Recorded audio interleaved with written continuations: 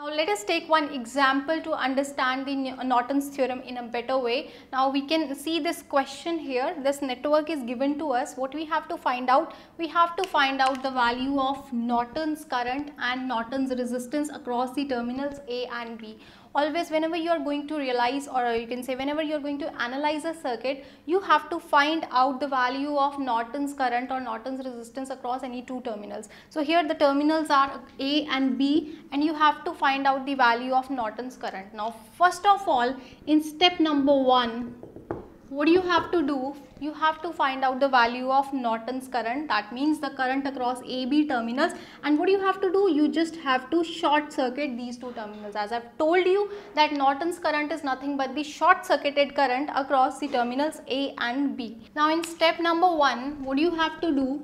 You just have to short circuit the terminals A and B. Means we have to find out the value of Norton's current and to find out the value of Norton's current what do you have to do? You just have to short circuit these two terminals and then you are going to find out the value of short circuit current. So here the whole circuit would remain as it is. This was what? This was 36 volts. And then after that here is one resistance present. 3 ohms then 6 ohms and then I have short circuited these two terminals a and B. I hope it is clear to you. And now what I have to find out, I have to find out the value of this short circuited current that is Norton's current. So now this is the circuit. Now I have to get the value of IN. Now as you can see here, this voltage is providing current and if I say that this is the value of current I, now this current is having two paths I can say that this current can go to this direction or this direction. Now here across this path you are not getting any resistance. This is a short circuited path and here you are getting a resistance of 6 ohms and as you know that current always follows a res least resistive path. Current always follows a least resistive path. So here the, this whole current flows towards this side and no current is going to flow towards this side. So the value of the Norton's current would be nothing but this current, this current I. So this current would be given by voltage upon resistance and the value of voltage here is 36 volts divided by resistance and here you can see that resistance is only 3 ohms because this resistance uh, current is not going to take this path so only 3 ohm resistance. So I can find out the value of I here. So here the value came out to be 12 amperes so this is the value of the short circuited current across the terminals A and B or I can say that this is the value of the Norton's current. Now then in the next step what I have to do, okay alright first I will write down the value of IN came out to be 12 amperes.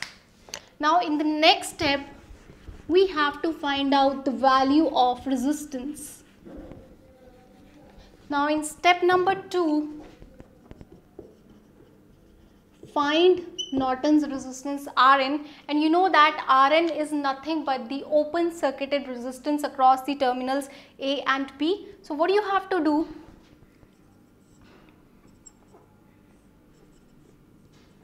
Again the same circuit, what do you have to do? You have to open circuit these two terminals A and B. Now you have to watch the circuit from this side from open terminals A and B and why I left this because you know that to find out the value of resistance here you have to kill all these sources. So whenever you have to kill the voltage source you have to replace it by short circuit. Now I am going to replace it by short circuit so it can be replaced like this. So this is the kind of network we are left with to find out the value of Rn. Now when I watch this circuit from this side I can see that these two resistances are in parallel. So very easily I can find out the value of these two uh, equal, uh, I can find out the value of Rn. So here this is 6 into 3 divided by 6 plus 3. This is a parallel combination. So here 18 by 9. So you are getting 2 ohms. So value of Rn came out to be 2 ohms. This is the way how you are going to tackle these kind of questions, how you are going to um, calculate the value of Norton's current and how you are going to calculate the value of Norton's resistance. And then after that you know that the equivalent circuit would look something like this.